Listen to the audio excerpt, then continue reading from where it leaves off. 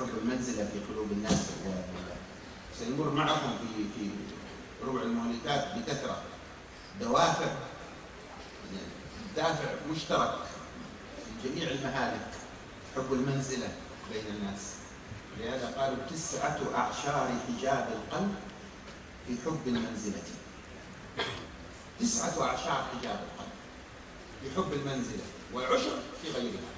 عشر في كل المصائب الثانية والأمراض. قالوا آخر ما آخر ما يخرج من رأس من بلغ رتبة الصديقية حب الرئاسة. أي حب المكانة آخر ما يخرج من رأس من بلغ رتبة الصديقية.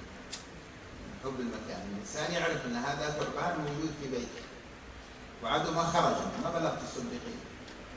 فماذا يفعل؟ مضطر يسكن في البيت. والبيت فيه ثعبان. ماذا يفعل؟ ولازم يسكن في البيت والبيت فيه ثعبان وما عرف في الثعبان ليتخلص منه ويخرجه كيف يفعل في هذا البيت ومضطر يبقى فيه؟ يبقى حذرا إلى أن يتخلص من الثعبان. يبقى حذرا لا يدخل يده في شك لكن إذا أراد أن ينام ينفض الفراش يتأكد. إذا أراد أن يجلس يتأكد. إذا أراد أن يفتح شيء يتأكد. ها؟ يكون دائما في حذر. كذلك حب المنزلة هذا مرض. نسأل الله أن يعافينا وإياكم من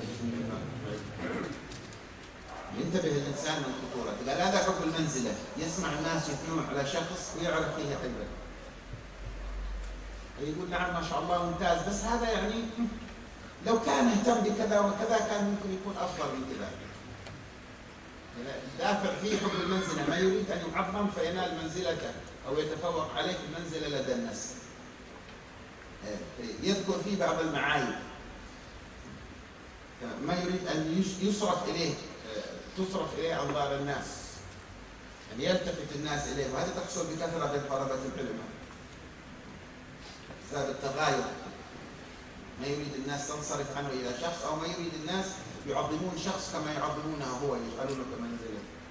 هذه من الفرعونية الخفية. تعرفون الفرعونية الخفية يا إخوان.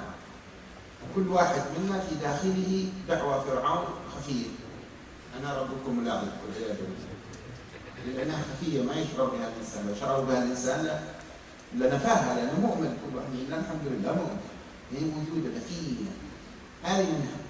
هذا مظهر من مظاهرها والعياذ بالله. قم في الدنيا وحي الأزهر وانصر على سمع الزمان الجوهرة واخشع عمليا واقض حق إمة. طلعوا به زهرا وماجوا أبحرا.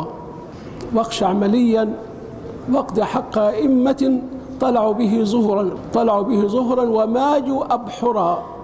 كانوا أجل من الملوك جلالة وأعظم سلطانا وأكرم مظهرا.